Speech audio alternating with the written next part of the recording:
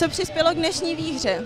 V dnešní výhře samozřejmě náš střelec, který celou, celou utkání nám pomáhal, Sara Diky, a týmový výkon, jak v obraně, tak i v tom útoku, který občas nešel, ale myslím si, že jsme se dobře viděli a body byly jednoduché spod koše.